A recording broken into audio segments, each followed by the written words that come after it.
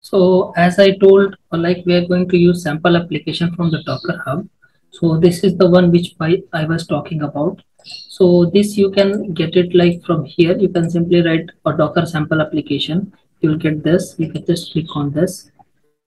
So you will get this page. So here you can as you can read that this is a sample application which we can use. So this is a simple to do application. Okay. So how we, we have to use it like either you can uh, start using like you can clone it or you can download a zip to your local system. You can unzip it unzip it and then you can use some code editor. With the help of that you can uh, push it to github and then you can use it. So i will be downloading it first and then unzipping it and then i'll be using visual code editor. And that i'm going to push it to github. So in this uh, file we will be having uh, uh like uh, not only this two uh, folders, but more folders and files will, uh, will be there. But we are interested only in the app folder. So as you can see, we are interested only in this app folder and this these are the content of this app folder. Okay. So uh, once you will download it, it will get downloaded and so to download it, click on this one. So as soon as you click on this one, you'll get this download so after that go to your download. Okay here you'll get that zip folder unzip it extract it. So i'm extracting here only. So this is extracted one. So we have to go inside and as we can see here one app folder is there. We are interested only in this. So now what we are going to do is like we are going to use open it in our uh, visual studio code okay So let me open my Visual Code Editor. So here we have to open that folder. So I practice.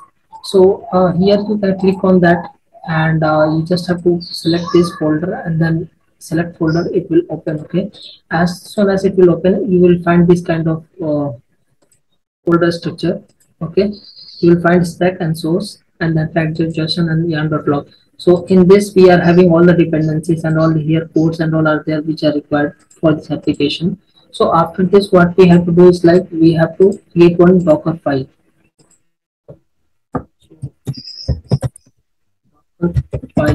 So this will be used to uh, create image, custom image.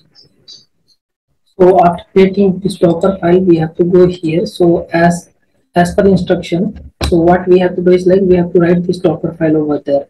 So uh, in this Docker file, what we are doing is like we are uh, taking a, a Alpine based node, node image, okay, and then in that uh, we are downloading Python 2, G++ and Net, which will help to compile the uh, code, okay, and then we are making this slash fs a working directory, uh, and we are copying the code, okay. After that, this we are uh, we are installing dependencies, so Hypernet production will help to install the dependencies okay. And we are exposing the uh, this application at 3004 okay. So we just have to copy it from here and we can paste it in our docker file. So after that you can save it.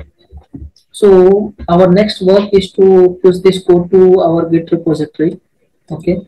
So for that we will uh, we are going to create one repository and we are going to push this code to the uh, git repository. So let's see how to do that